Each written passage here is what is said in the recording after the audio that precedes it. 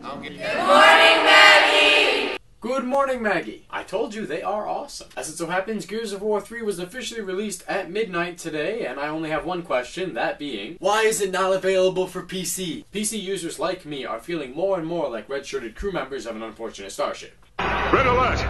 All crew to battle stations. Get off my bridge. Do you hear me, Microsoft? So as of yesterday, our calculators have a name in our calculus class. Named mine Asimov.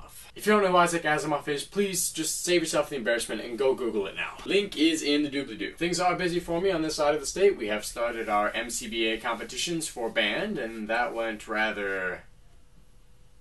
So yeah, that happened, and um, so last night I had this really frantic dream. The whole time I was running away, only no matter where I went, I kept hearing this voice that wouldn't go away because it was stuck in my head.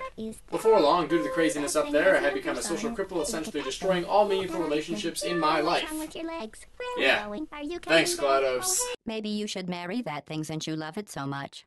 Do you want to marry it? Well, I won't let you. How does that feel? No, one day I should really finish editing part two of page 128. Yeah, sorry about that. Dear Hewlett Packard, please ship my touchpad soon. Okay, thanks, bye. Maggie, I will see you tomorrow. Remember when the platform was sliding into the fire pit and I said goodbye? And you were like, No way. and then I was all, we pretended we were going to murder you. That was great.